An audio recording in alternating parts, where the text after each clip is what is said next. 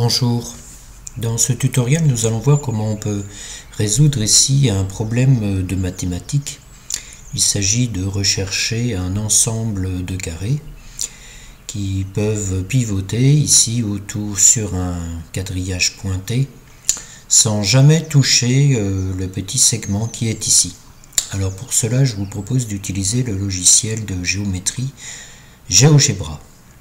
Donc nous allons euh, le lancer nous allons importer ici le petit motif dans GeoGebra. Alors je l'ai préparé ici, vous voyez. Je vais le prendre et le déposer ici sur la fenêtre de GeoGebra. Donc maintenant si j'agrandis cette fenêtre, je repositionne mon motif. Je vais pour cela utiliser euh, l'outil polygone régulier. Donc admettons que je démarre par exemple ici. Je mets, euh, je sais pas moi, par exemple un point B euh, ici. Par exemple ici, on lui donne 4 points. Voilà. Donc maintenant, on a notre carré que l'on va pouvoir euh, modifier. Vous voyez, par exemple ici, on a une première solution.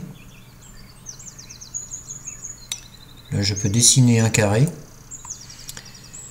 qui ne touche pas ce petit segment rouge.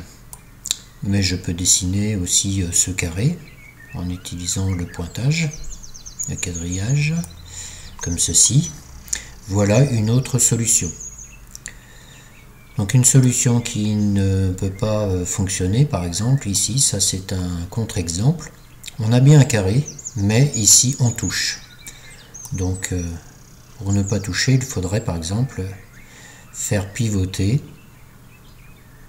le carré comme ceci. On a bien les quatre côtés qui touchent le pointage du réseau quadrillé qui ne touche pas le segment.